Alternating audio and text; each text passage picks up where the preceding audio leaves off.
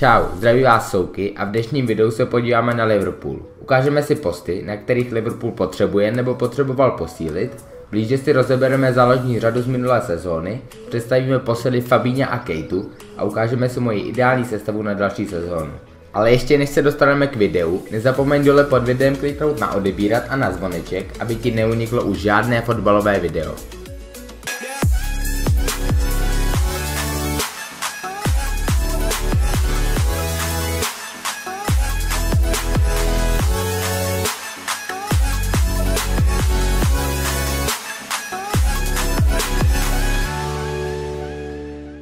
Na začátku si ukážeme sestavu Liverpoolu, která nastupovala v této sezóně nejčastěji a vybral jsem sestavu z největšího zápasu sezóny, a to finále Ligy mistrů proti Realu Madrid. Z toho vyplývá, že Liverpool nutně potřebuje posilit zbráně, protože každý si vzpomene, co se stalo ve finále Ligy mistrů. Pokud chce hrát Liverpool o titul v Premier League, potřebuje kvalitního a spolehlivého golmana, který bude stabilně podávat dobré výkony. Můj tip je určitě Alison z Říma, kterého jsem rozebíral ve videu, které vám právě vyskočilo. Ještě by se dalo říct, že potřebují druhého stopera k Van Dijkovi, ale Lovren se v poslední době docela rozehrál a už nedělá takové hrubé chyby jako dřív. Do budoucna Liverpool samozřejmě stopera potřebuje, ale momentálně je pro něj důležitější záložní řada. A přesně to vedení Liverpoolu vědělo a přivedlo dvě posily. Fabíňa z Monaka a Kejtu z Lipska, kterého podepsali už dříve, ale k týmu se připojí až v létě. Záložní trojici tak tvořili hráči jako Henderson, Wijnaldum, Oxley Chamberlain, Milner, Emre Can, který ale odchází do Juventusu, a Lalana, který kvůli zranění do hry skoro nezasáhl. Nutno říct, že jde o kvalitní a pracovité hráče, kteří plní pokyny Klopa a celý zápas odezdí na 100%. Presují a do defenzivy si úkoly splní, ale žádný z nich není opravdu top.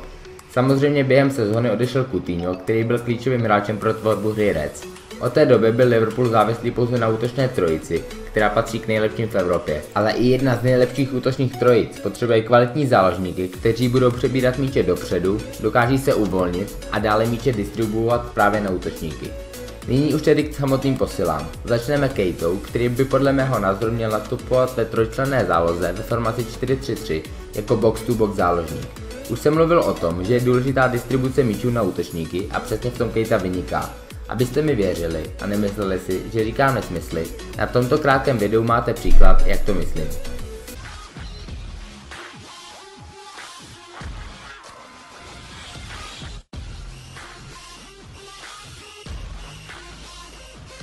Jeho schopnost přejít jeden na jednoho a poslat přidávku dopředu, která něco řeší, může být pro Liverpool v příští sezóně velmi důležitá. Například ve finále Ligy mistrů záložní řadu Liverpoolu nebylo skoro vidět, protože Modrič společně s Krosem je totálně přehráli a po zranění Salaha Liverpool dopředu nebyl schopný nic vymyslet. V Bundeslize Keita nastoupil do 25 zápasů, dokázal střelit 5 gólů a na 5 přihrál. Vytvořil 36 šancí a většinu ze středu hřiště, kde taky celou sezonu nastupoval, nejčastěji jako defenzivní záložník.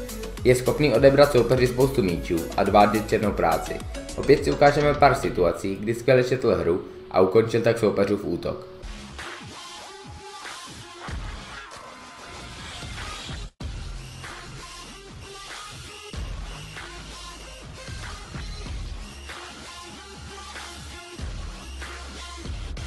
Odvádí tak podobnou práci jako Kanté v Chelsea, navíc je na tom podobně i výškově a váhově.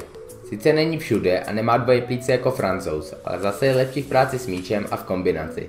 Podle mě je to hráč, který se do Premier League rychle adaptuje a vzhledem k tomu, že nejde na mistrovství světa, má celé léto na to, aby pochopil klopovou myšlenku fotbalu. Další posila, která byla oznámena hned na začátku letního přestupového období je Fabinho z Monaka.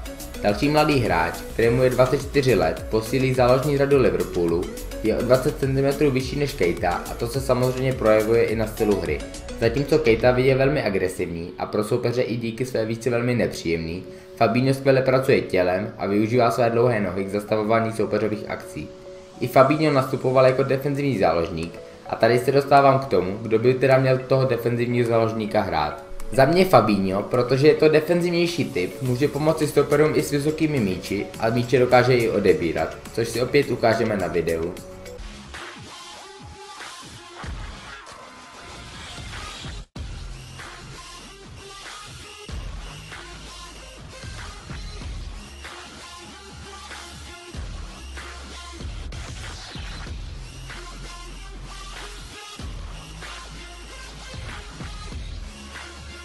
Kejta má naopak dovednosti na to hrát box to box záložníka, protože je technicky vyspělý, má skvělou kondici a dokáže týmu pomoci jak v obrané, tak v útočné fázi.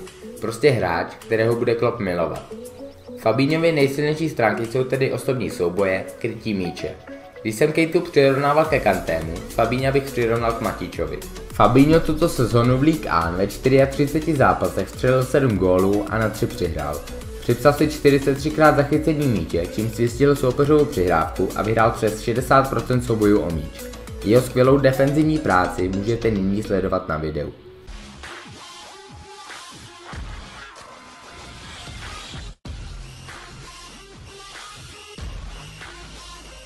Oba tito hráči Liverpoolu dost pomůžou hlavně v tom, že jejich hra bude stabilnější. U zápasů Liverpoolu bylo často zvykem, že se hráči nechali strašně unést hrou a atmosférou a neuměli hru sklidnit, s čímž pomůže právě Fabinho. Pokud bude Liverpool chtít na soupeře hned od začátku vlétnout, jak to má ve zvyku, Hejta bude v presinku určitě užitečný. Teď vám ukážu moji ideální sestavu z hráčů, kteří jsou momentálně v kádru, takže nebudu spekulovat o žádných posilách. Zvolil jsem formaci 4-3-3, do teda zařadím Kariuse, přestože si myslím, že by měl přijít nový brankář, který nebude dělat chyby a bude pro svůj tým oporou. Nevycházím jen z finále ligy mistrů, Liverpool dlouhodobě hledá kvalitního brankáře.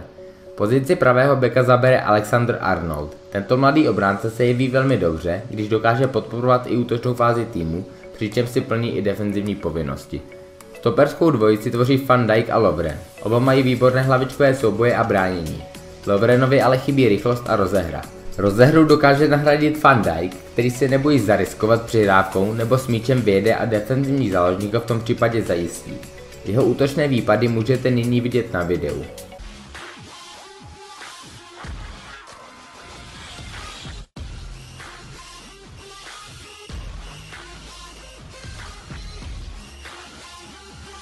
Ještě ho zdobí velmi přesné křižné míče, které si taky ukážeme.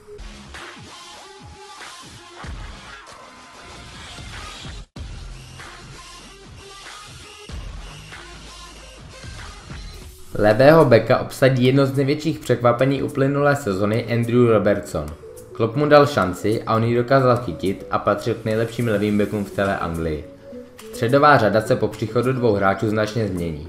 Defenzivního záložníka by měl tedy hrát Fabinho, box to box záložníka Keita, to už víme. Ale kdo ten třetí? Říkáte si Henderson? Kdyby nastupovala trojice Fabinho, Keita, Henderson, není tam vyloženě kreativní hráč, Henderson je sice kapitán a na hřišti vždycky nechá všechno, ale osobně si myslím, že posily jsou lepší hráči než on.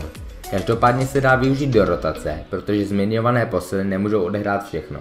Určitě je možné, že ze začátku bude Henderson pořád základu nastupovat, ale postupem času to vidím na duo Fabinho Keita. A na pozici nejofenzivnějšího záložníka teda připadají tři hráči, Oxley Chamberlain, Wijnaldum nebo Lallana. Do komentářů mi prosím napište, kdo z těchto tří by měl hrát a napište mi prosím i důvod, aby ten komentář měl nějaký smysl a mohl bych na něj odpovědět. Za mě bych tam dal Lalanu, ale musel byste dostat do formy, jako měl předtím, jinak Oxlade Chamberlain. No a útočné trojici se asi bavit nemusíme, ne? Problém ale může být, že všichni záložníci jsou praváci. Když si pravák, naprosto přirozeně mi častěji otážíš do pravé strany, kam si ho také z 80% přebereš. Na pravé straně ale hraje Levonový Salah, tudíž si může mít zpracovat do středu hřiště a poté dlouhým míčem hru otočit. Ještě si ukážeme další možnosti, jak může Liverpool hrát. Teoreticky by Keita s Fabíně mohl hrát spolu dva defenzivní záložníky ve formaci 4-2-3-1. Před nimi ofenzivní záložník a Salah s Manem by hráli více ze strany. Když bude Liverpool prohrávat, může se Klopp uchylit k rozestavení 4-2-4, kdy dvě nové posily zvládnou uběhat střed hřiště. Naopak, když budou chtít udržet vedení, může nastoupit defenzivní Henderson a málo kdo přes tyto tři střední záložníky projde. No to je asi všechno, co bych vám tímto posilám řekl. Uvidíme, jak se adaptují, ale já si osobně myslím, že Liverpool udělal dva skvělé nákupy a hráči jednoznačně pomůžou v boji o titul. Jelikož pevný střed hřiště a Liverpool tak nebude mít takové problémy s defenzivní hrou, jako tomu bylo před příchodem Fandajka. Ale je klidně možné, že si například Fabinho nezvykne na Premier League tak rychle, stejně jako jeho bývalý spoluhráč z Monaka Bakayoko, který se rozehrál až ke konci sezóny. Každopádně teď vám přeju, abyste si užili mistrovství světa a budu se na vás těšit u videí právě z tohoto svátku fotbalu. Doufám, že se vám dnešní video líbilo a do komentářů nezapomeňte napsat vašeho preferovaného ofenzivního založníka A klidně můžete i vaši ideální sestavu. Zatím se mějte přesně tak, jak chcete. Čau čau.